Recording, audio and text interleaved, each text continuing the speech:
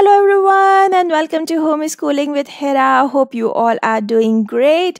In today's video, we shall learn about auxiliary verbs. Auxiliary verbs are a type of verbs. We also call them helping verbs because they often help us identify the tense, mood, and voice of the sentence. Unlike the main verb, they don't tell us exactly about the action that is happening or the action that the subject of the sentence doing. Instead they tell us what is the tense of our sentence which means that what is the time of the action what is the mood of the sentence. I'll describe it a bit later that what does it mean by mood and the voice of the sentence. As we know that we have active and passive voice. So these three things can be identified only with the help of auxiliary verbs because it's their job to do this, it's their function, right? So in English, we have three main auxiliary verbs. The most used is to be, then we have to have, and then we have to do. All the auxiliary verbs have their different forms. For example, present form, past form, and future form. So they because they tell us about the tense, that's why they have their present, past, and future forms. Let me tell you that we have another group of auxiliary verbs which I will tell you at the end of the video. For now, let's learn about these three that how they are auxiliary verbs and how do they help us and identify the tense, mood, and voice of a sentence. So as I just told you that these three verbs have their present, past, and future forms. So the verb to be in present can be written as am, is, and are. Remember that verbs have different forms, so here these auxiliaries also have different forms. The past of the verb to be is was and were, and the future of this auxiliary will be and shall be. Now, according to your subject, you will select these verbs. If your subject is singular, for example, I, so you will take the auxiliary am and then the main verb and the rest of the thing. I'm teaching, I'm sleeping, I'm eating. If your subject is he, she, it, you will go for is. And if your subject is plural, we, you, they, you will go for are. Right? So in the be verb, we have uh, this technicality that it has three forms, but you also have to check out your um, subject when you are using the present form of the be verb.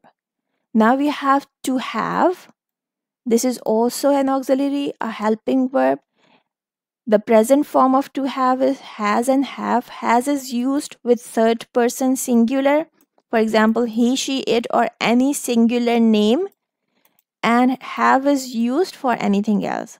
Right? Third person singular are he, she, it, and any singular name. For example, she has been doing dishes. She has been doing dishes. So here we have has as a helping verb as well as been. Been is the past participle form of the be verb. I missed writing it here. Let me add it.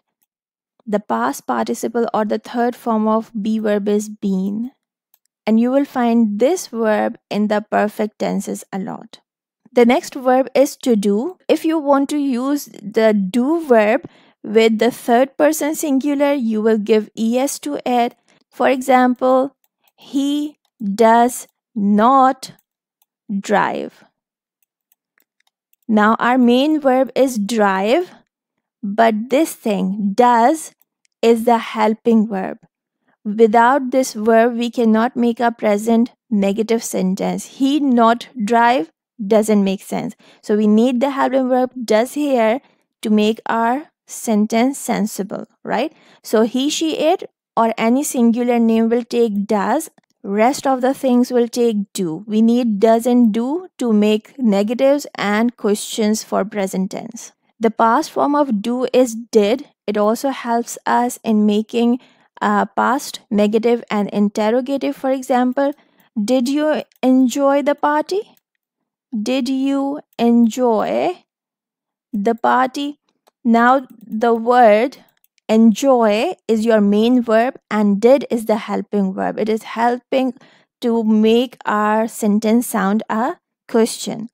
I did not enjoy the party.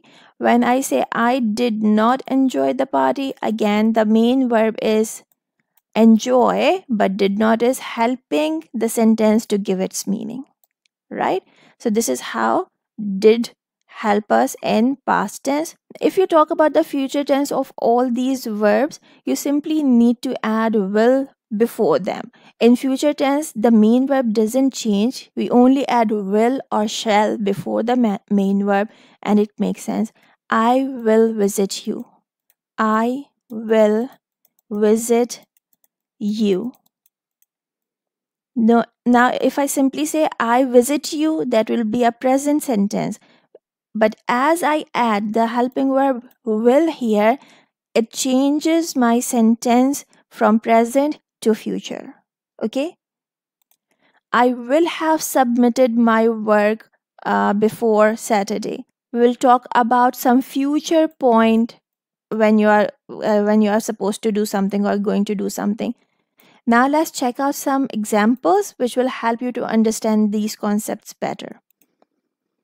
As I told you that auxiliary verbs or helping verbs tell us the tense of a sentence. So these examples are for this one. My sentence is I am recording a video. I is my subject. Recording is my main verb. The verb am here is a helping verb or the auxiliary verb. And if I just remove it for a while and try to read the sentence, I recording a video doesn't make any sense. I need to write here a helping verb. Now this helping verb can be am and this can be was. And if I use the verb am, it means I'm talking about the present tense. And if I use here was, it means that I am talking about the past tense. So this is how the helping verb is helping us to understand the tense of the sentence. I was watching a TV show. This was is telling us about the time of the action. Watching is the main verb, but was is telling us when I was watching. I will take a short nap after my work. Take is the main verb. Will is telling us about the time when you will do this work. You will do this work in future. So this is how auxiliaries help us to identify the tense of a sentence. Now we have the examples of auxiliary verbs telling mood of the sentence. What is the mood of the sentence? Mood means that if your sentence is uh, an imperative sentence, an inter- interrogative sentence, or a negative sentence, these are three common examples of moods. We also have some other moods. But let's see that how the uh, helping verb or auxiliary verb, I'm missing an I here, I'm sorry, help us to identify this.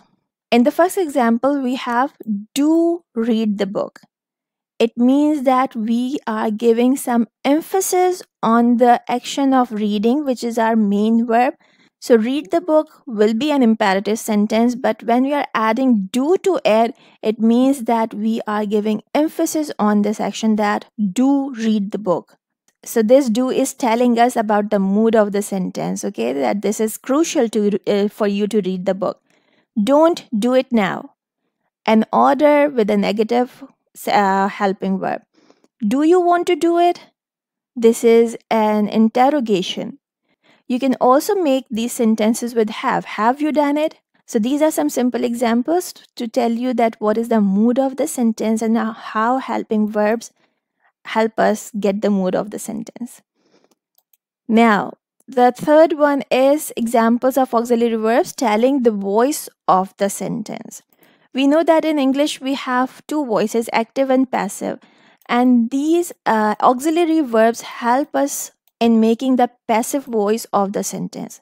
What is a passive voice? Just a little information about it. If you don't want to talk about the subject of your sentence, or this is not much important, or you don't want to emphasize on the subject or the doer of the action, you write your sentence in the passive voice, right? Let's see the first example. I am being chased by a stalker. Now let's see how I will understand this sentence. The first thing is am, which means that this is present tense.